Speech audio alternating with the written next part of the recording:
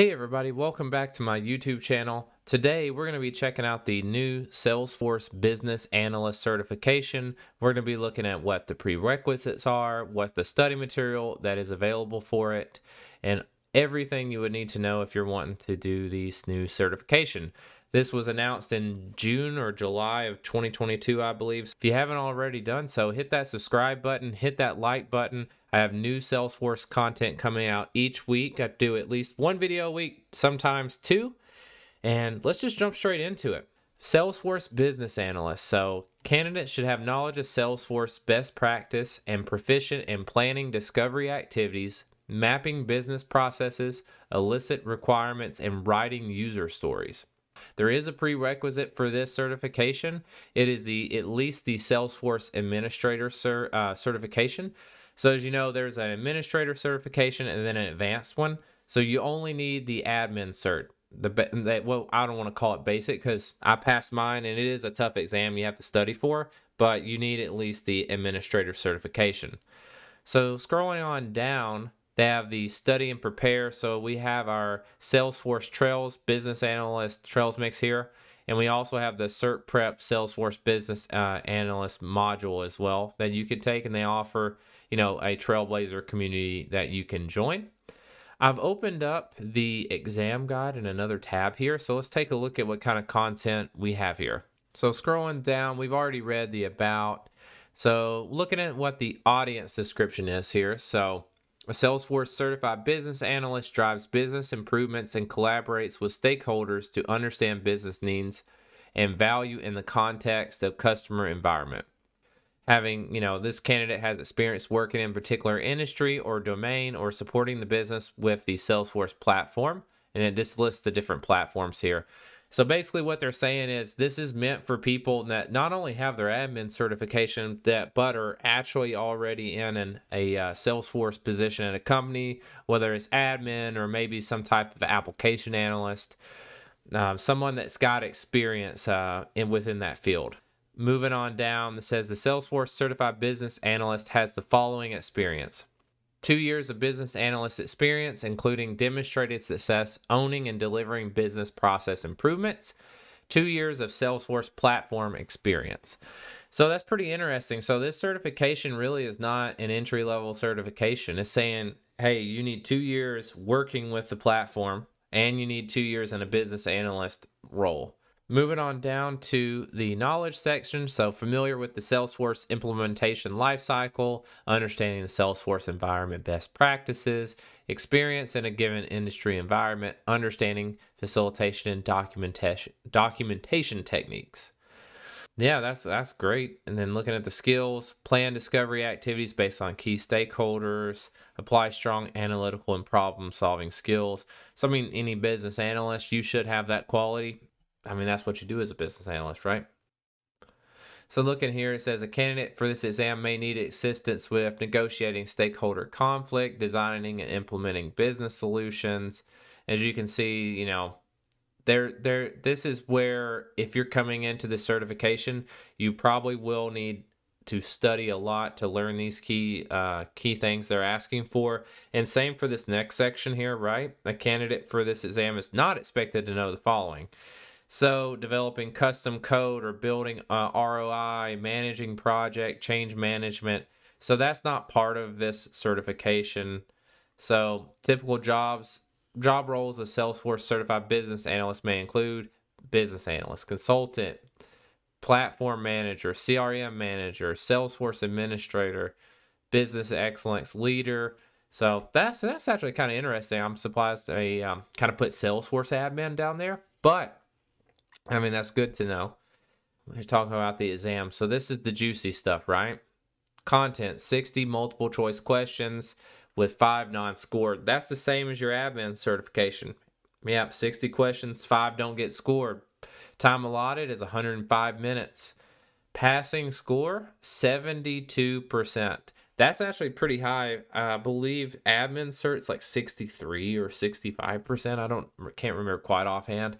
So that's a pretty high score as far as Salesforce goes.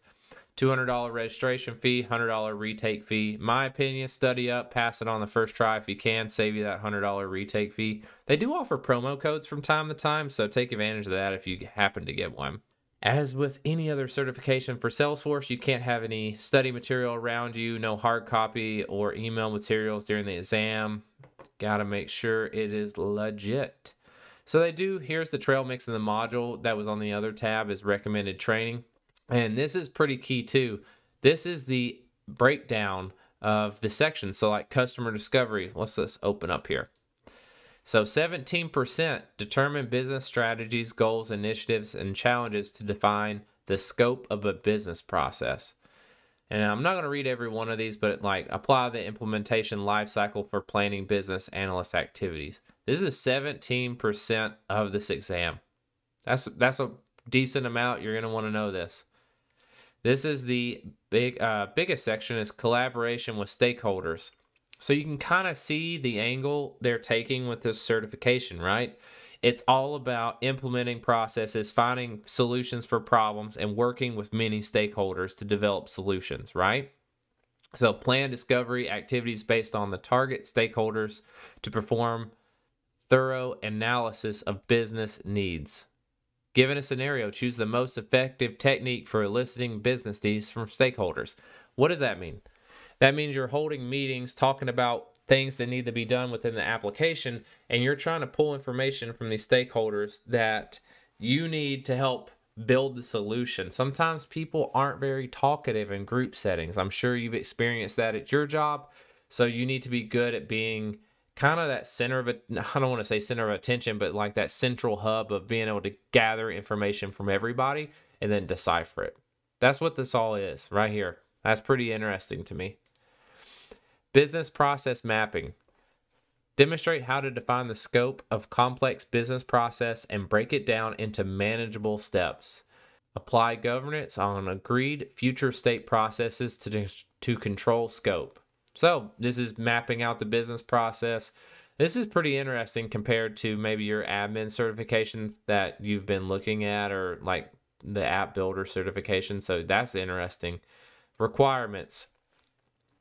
Distinguish between requirements versus user stories to engage business and technical stakeholders. Verify and prioritize existing requirements and identify new requirements to develop the future state. So that's pretty. I mean, this this is pretty cool. Seventeen percent. Yeah, um, document requirements and a, a version control repository to manage scope. And then we have user stories. It's pretty self-explanatory. And then looking at the last user acceptance is only 8%. The way I kind of approach these certifications is you want to go after the big chunks first, right? You know, the way I look at what 24 points there, you got your 17, 17, 16, and 18. These are your big players. This is nice to know. You can kind of give eight points away, but you want to try to get those points too, obviously. But um, if you're kind of strategizing for passing a certification, this is uh, low on that totem pole, right? Define and prepare the user acceptance test plan to confirm the solution meets the business requirements. What does that mean? UAT testing, right? Guide UAT and manage the results to determine whether the solution meets the requirements. So, that's kind of all the information they have down here. It talks about how to maintain your certification, but that's nothing new if you're in, you know, already into Salesforce certifications. And if you're watching this video, most likely you probably already have your admin certification or another certification like that, right? Right now, study material that I would recommend is following the trail mix they offer in the module. I looked and on Focus on Force, which I've recommended uh, for the admin certification, and then as of filming this, I am about a week away from taking my app builder certification. So I'm using Focus on Force there. As soon as the they add the business analyst study um, kind of modules to that, I'm sure they will.